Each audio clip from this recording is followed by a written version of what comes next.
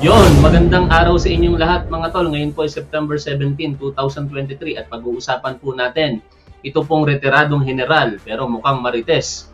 Alam nyo, ito pong si General Macanas, retired general po ito mula po sa Philippine Army. Nung mga unang panahon na ito po ay nagsisimula pa lamang sa kanyang vlogging journey, kakampi po ito ni Pangulong Bongbong Marcos, sumusuporta po ito sa ating Pangulo.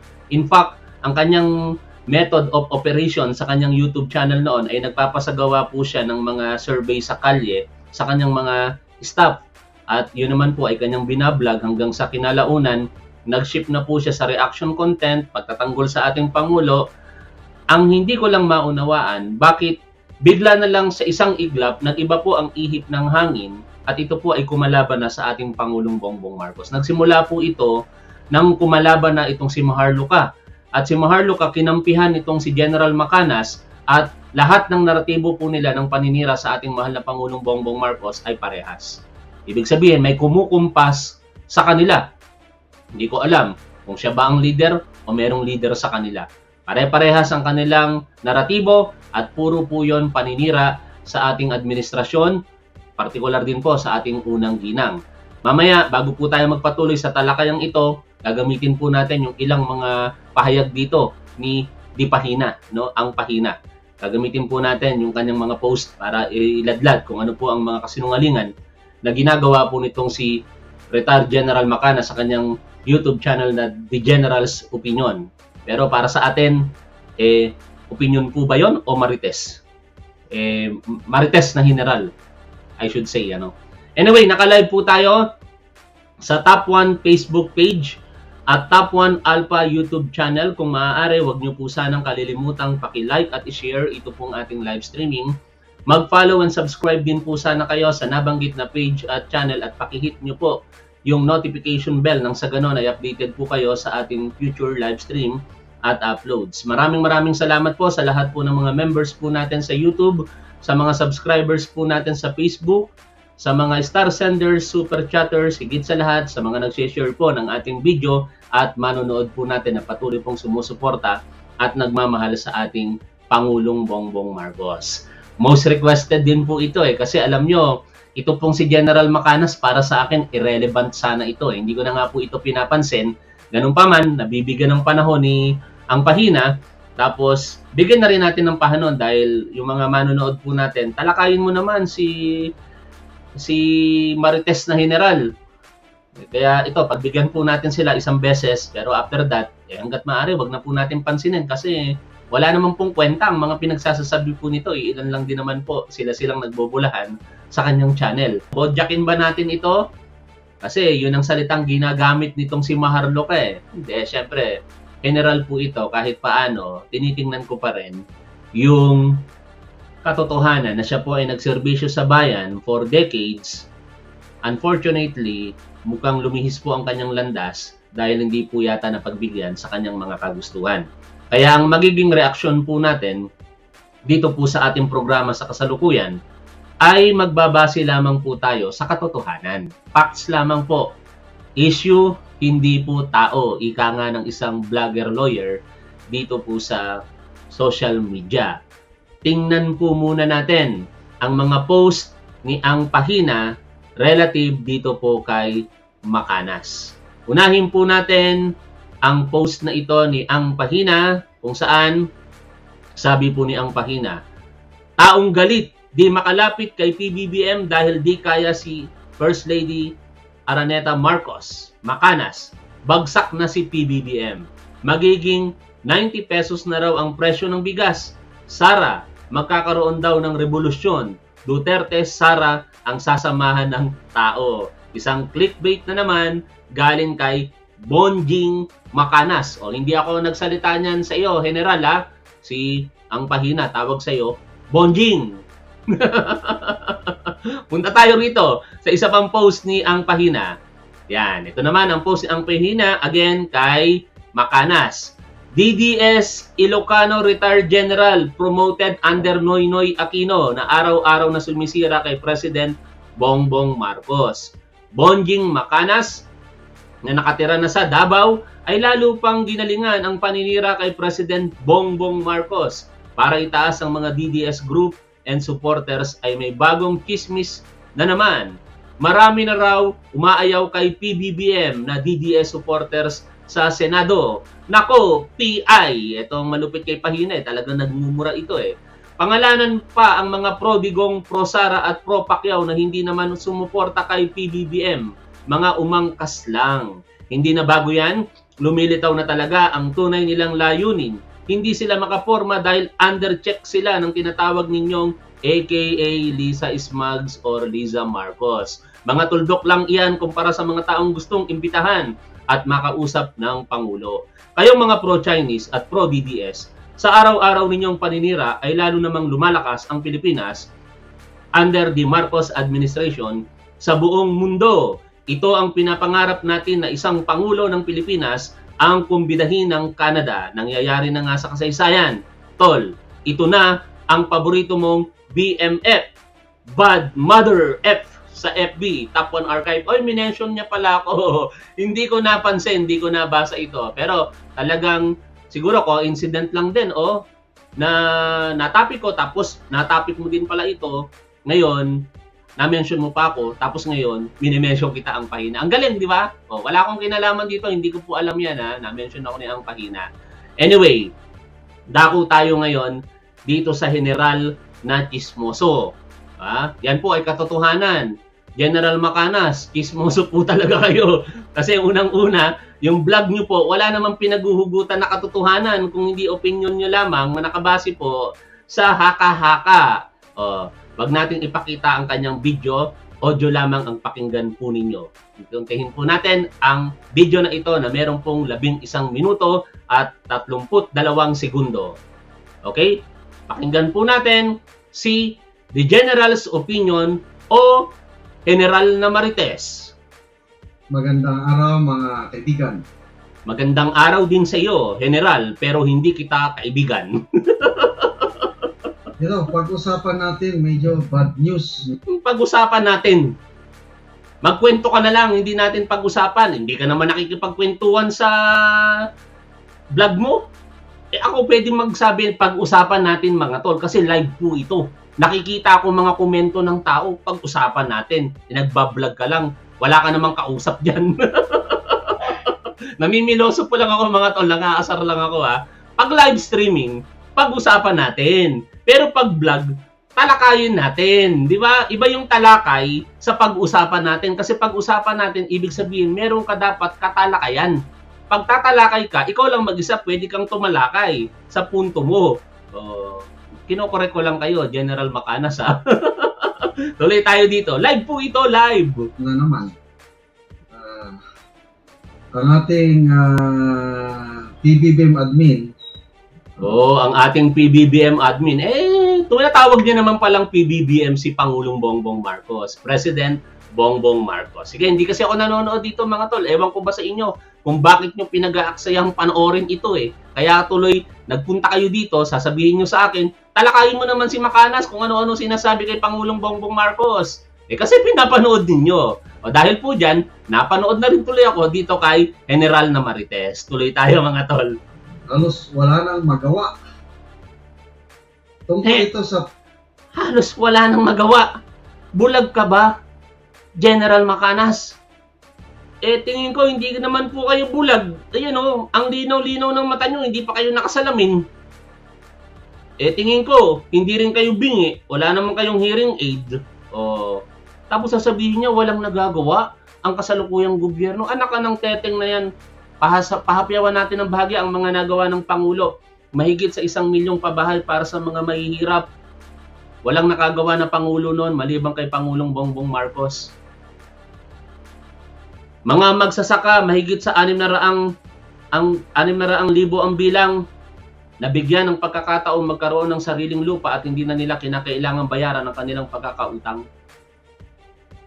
Ang ating Department of Information and Communication Technology, ang DICT, maganda ang serbisyo sa ating publiko dahil sa kanilang maayos na serbisyo sa komunikasyon at teknolohiya. Maraming mga lugar dito sa Pilipinas ang hindi po abot ng internet in particular pero sa kasalukuyan sila po ay meron ng internet ang tawag po doon broadband ng masa program. O, basta parang ganun. Hindi ko na alala, hindi ko na bigla na alala. O, napakarami pang iba. Hindi ko na iisa-isahin. Mauubos kasi yung reaction video natin. Yung time natin. O, tuloy muna tayo rito sa kanyang sinasabi. Una, kasinungalingan na walang ginagawa ang kasalukuyang gobyerno. Pagtaas ng presyo ng bibilhin sa ating bansa. Ah, yun naman pala ang punto niya. Sabi niya, walang ginagawa ang gobyernong ito sa pagtaas ng presyo ng bibilhin o ng bilihin sa ating bansa. Kasi nungalingan na naman. Ano, lahat ng effort ng ginagawa po ng ating Pangulo sa kasalukuyan ay para pababain ang halaga po ng presyo ng mga bilihin. Hindi nyo ba ma-appreciate na sa mga nakalipas na buwan, except last month, patuloy na bumababa ang inflation rate sa ating bansa. Pero last month, dahil nga po sa challenges na kinakaharap po ng ating bansa at mga nangyayari sa iba't ibang bansa, uncontrollable talaga ang situations kung minsan kaya bahagya na namang tumaas. Pero bumababa patuloy ang trend nito in general. Kaya walang katotohanan ng sinasabi po nitong si Makanas na walang ginagawa ang ating Pangulo, ang kanyang administrasyon sa pagtaas ng presyo ng mga bilihin. Inuulit ko, Kasinungalingan, 2-0, banat. So, hindi pa nai-stabilize ang presyo ng bigas. Nak ng teteng talaga. Hindi daw nai-stabilize ang presyo ng bigas. Eh, ang katotohanan kasi dyan, may mga influence na beyond sa control ng gobyerno. Pero gumagawa ang gobyerno ng paraan para ma-stabilize ito. Ano ba yung mga beyond sa control ng gobyerno? Like for example, what had happened sa India, they decided na wag na pong mag-export ng bigas. Kaya naman, karamihan po sa mga umaangkat ng bigas nagtungo sa ilang mga bansa katulad po ng Vietnam at Thailand kung saan din po tayo umaangkat. Kapag ka mataas ang demand, basic principle ito sa economics, sabi ng mga ekonomista.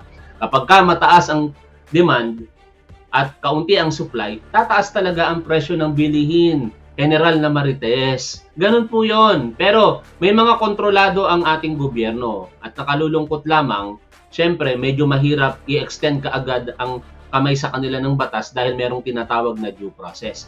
Ito yung mga smuggler at hoarder. At hindi ito yung sinasabi ninyo na si Lisa smug. Kasi kasinungalingan iyon. Paano magiging smuggler si First Lady Lisa Marcos? Talaga kayo mga napakasinungaling ninyong tao. O, itong mga smuggler na ito at yung mga racket, uh, mga profiteering businessman, yung mga ganid sa pera. Ano, walang ginawa kung hindi kumita ng kumita ng pera ang hinahangad. Sila po yung mga nagtatago ng bigas at ano ang ginawa ng ating gobyerno? Nag-inspect na nag-inspect ang ating gobyerno at napag-alaman na meron talagang mga nagtatago ng bigas at ang layunin marahil nila para i-control ang supply at ma-manipulate ang presyo po ng bigas. Ngayon, ano ang ginawa po diyan ng ating gobyerno para i-address dahil nga po talamak na ang ginagawa po nilang manipulasyon. Nag-set po ng price cap ang ating gobyerno through Executive Order number 39 from mataas na presyo, sinet po ito to standard price of 41 pesos and 45 pesos for regular milled rice at well milled rice respectively. Ano ang epekto nito sa Pilipinas? Pabor para sa taong bayan kasi nakakabili na sila ng maayos na bigas kahit paano sa halagang 41 pesos at 45 pesos.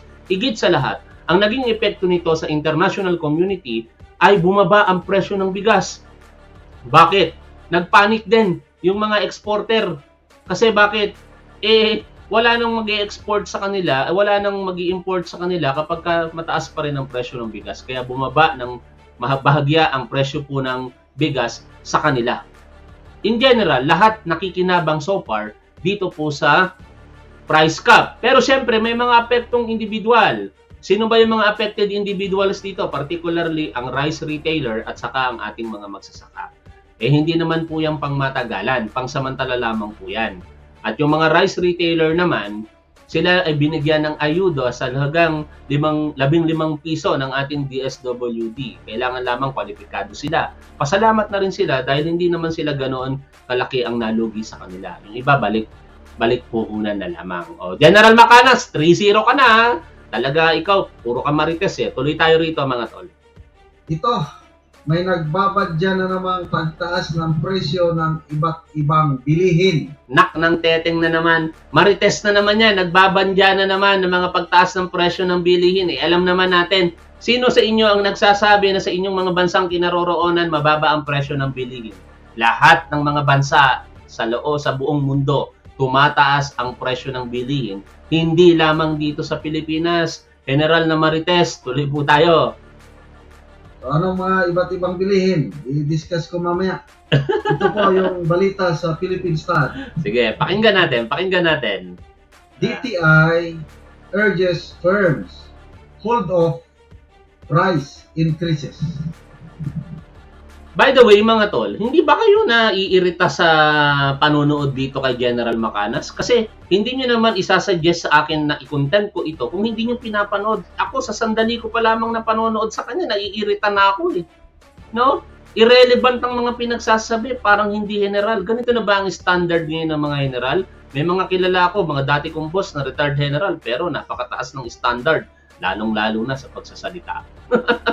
So, nakikiusap ang Department of Trade in Industry, ang mga negosyante. Huwag muna kayong magtaas ng presyo. Ngek! Maawa kayo sa presidente, hindi na nakakatulog. Ngek! Pati ba naman yung pahayag ni Pangulong Bongbong Marcos na kung tutuusin, malasakit ang dapat madaramdaman ng bawat Pilipino na halos wala na siyang panahon sa pagtulog kasi ginagawa niya na iresolba ang problema ng bansa. Binabaligtad pa nitong si Macanas at sasabihin pa na, naku, nagpapanik ng Pangulo kaya hindi na makatulog. Nang mahimbing. Nako, inflation. Yung pagtaas po ng uh, bibilhin. Oh. Pag tinanong kaya natin to si General Macanas, General Macanas, pwede nyo bang ipaliwanag sa klase po ninyo? Kasi sabi ninyo, pag-usapan natin. Pwede nyo bang pag-usapan kung ano po ba ang ibig sabihin ng inflation? Malay nyo, sagutin tayo, di ba? Baka pwede nyo namang ipaliwanag ano ba ang ibig sabihin ng inflation, General Macanas. uh, inamin ni Pangulong Marcos sa isang panayam, I, I am spending sleepless nights dahil sa inflation na yan, yung pagtaas na Okay. Sige, banat. kulang siya sa tulog. Kulang sa tulog. Yun ang greatest worry niya. Ah, sige, sige. Tingnan natin. Ay, So, ano ba? Uminom po kayo ng gamot, General Macanas, inuubo po kayo, baka lumala po yung, yung ubo ninyo. Inom po kayo ng gamot, inom. Matandaan na natin na ang grabing pagtaas ng presyo noong hmm. December, yung Ah. sibuyas. Sibuyas. Eh, syempre, kaya tumaas ang presyo ng sibuyas, basic principle. Mataas ang demand, kulang sa supply. Bakit nagkulang ang supply? Dahil sa mga hoarder. Di ba? At hinahabol na sila ng gobyerno sa kasalukuyan. Pero, yung pagtaas ng presyo ng bigas nung panahon ni Duterte, yung pag, pagtaas ng presyo ng sili nung panahon ni Duterte, di nyo yun nakikita. Puro lang kayo nakatingin sa kasalukuyang gobyerno dahil ayaw ninyo sa kababayan mo, General Marites, ay General Macanas. Tuloy tayo mga tol. Grabe, naging gold ang sibuyas. Talaga? Uh, Eh, kasi nungalingan naman yan. Pagka gold ang pinag-usapan, General Macanas, tingnan nga natin kung may suot siyang gold. Pagka gold kasi ang pinag-usapan, General Macanas, sa pagkakaalam ko, ang per gramo ng ng ah, Saudi gold ay 3,250 sa market. Ang Japan gold parang 3,450 sa market. Per gram po yun ha. Grabe ka naman. Eh ang kilo ng sibuyas, pagpalagay natin umabot ng 900 pesos, tapos itutumbas mo sa gold, itutulad mo sa gold. Ang tawag doon, exaggeration. Para lamang kayo makapanira, i-exaggerate nyo yung mga bagay-bagay. Literal, dahil sa pag-import, tumating ang uh, tuni-tunila ng uh, sibuyas. Ayan, bumaba. Yun pala, itinago lang yung local Yun naman pala eh. Itinago. Grabe. Para Ngayon. ma-manipulate. Sisihin mo yung mga nagtatago. Ano? Eh yan naman pala, alam mo naman palang tinatago ng mga yan, ibigay mo sa impormasyon. Di ba dati kang general? Yung impormasyon na meron ka, ibigay mo sa gobyerno.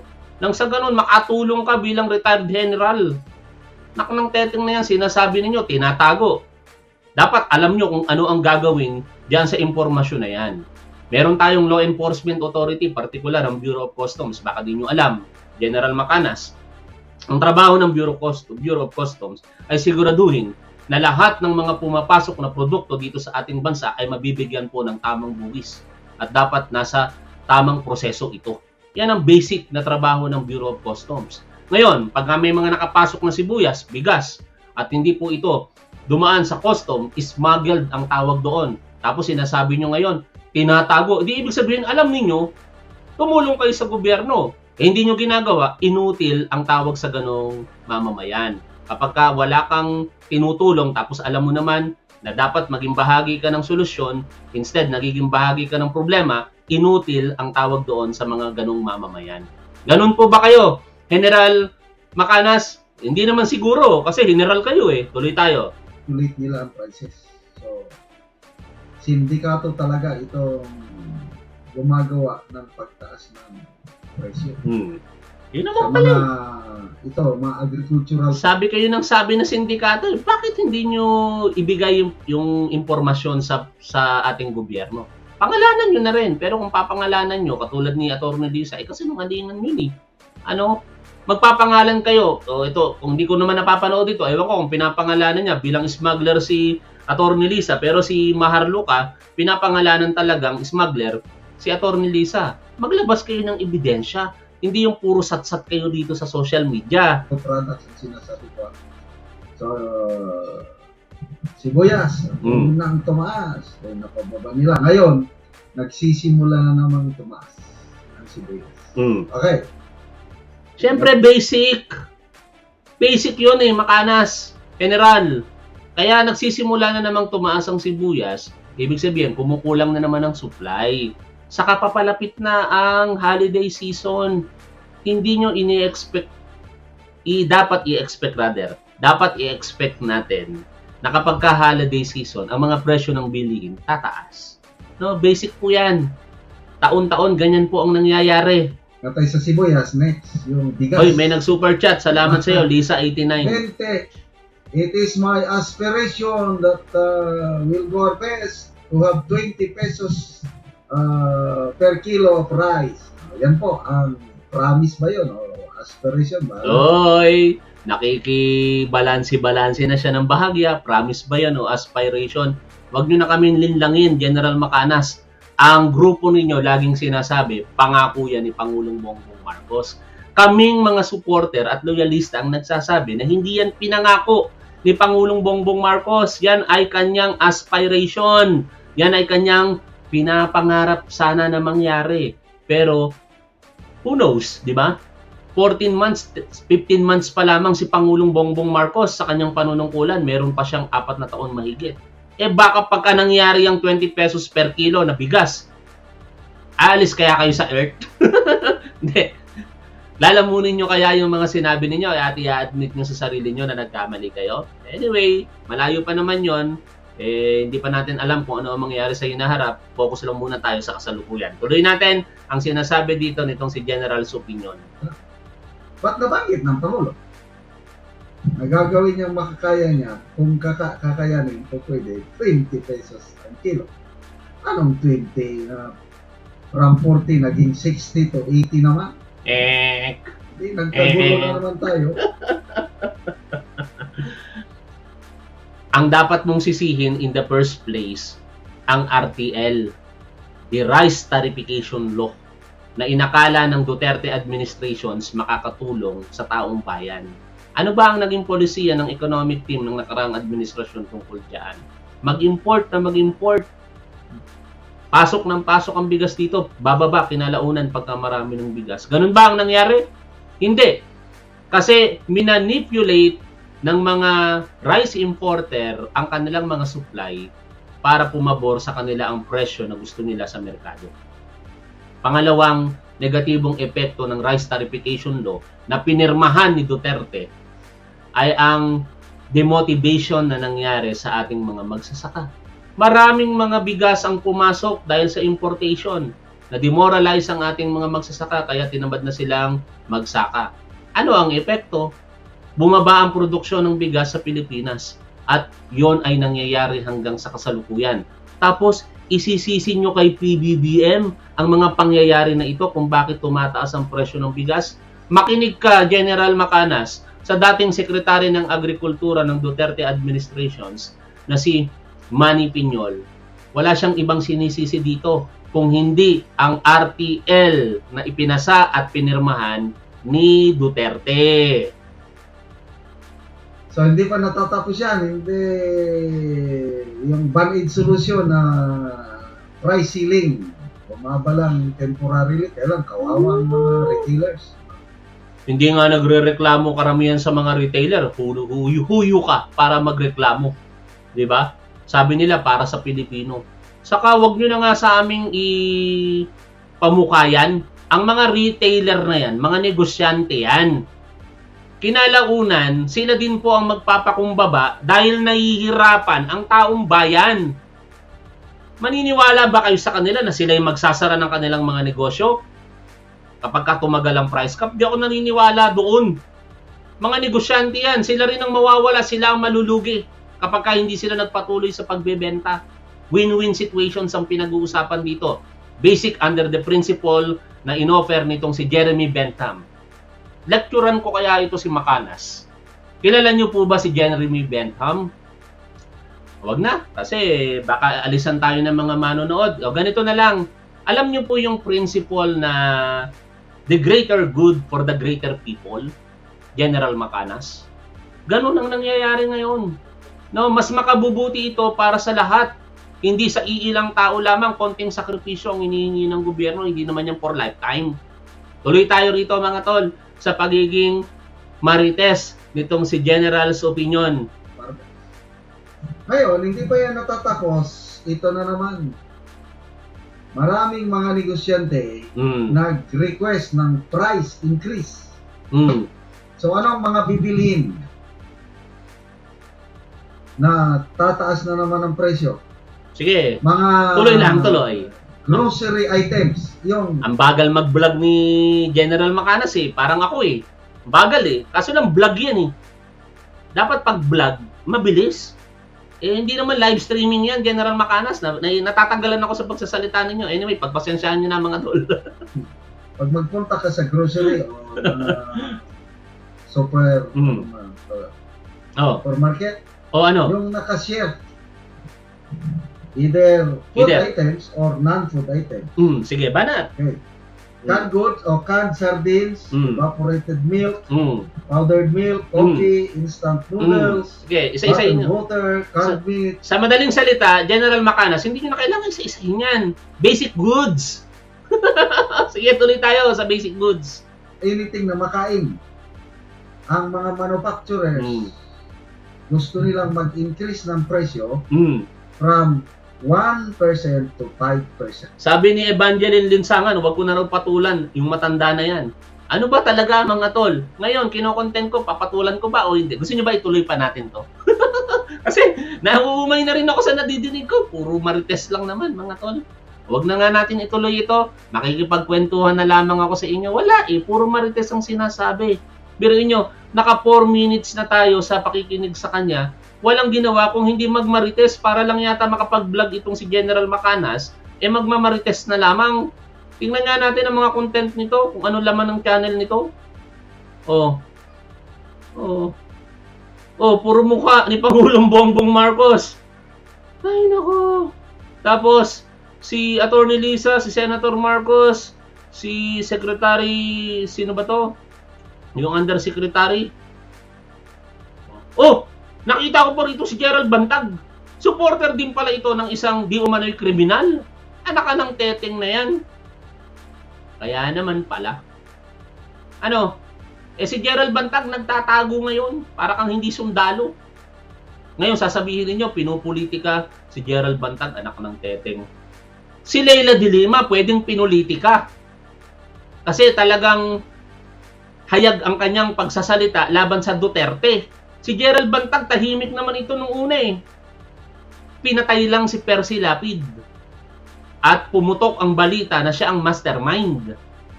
Kaya umingay ngayon sa social media ang pangalang Gerald Bantag. Tapos inusulong pa ng mga ito, magsenador daw si Gerald Bantag. Sinong boboto kay Gerald Bantag sa pagkasenador? Taas ang kamay. Anak ng teteng na yan. Ano nang uri, merong utak ang mga botante sa kasalukuyan. Na kapag ka nakulong, iboboto? Anak ng teteng na yan.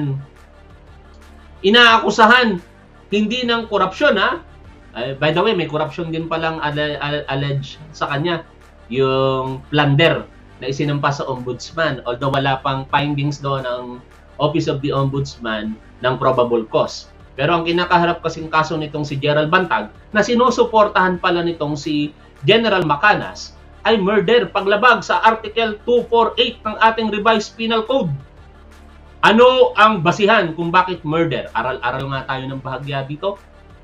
Sabi sa Article 248 ng ating revised penal code, murder.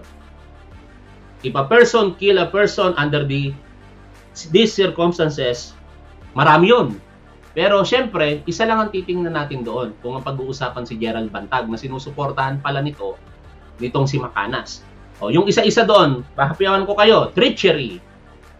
Hindi applicable kay Gerald Bantag, treachery eh. Abuse of superior strength, hindi rin applicable kay Gerald Bantag. Use of motor vehicle, hindi rin applicable. Poison, use of poison, use of explosives, killing under the circumstances of public calamities or calamities, oh, hindi lahat pasok. Use of fire, hindi lahat pasok. Eh ano yung pasok kay Gerald Bantag? Sabi doon sa Article 248 ng ating revised penal code.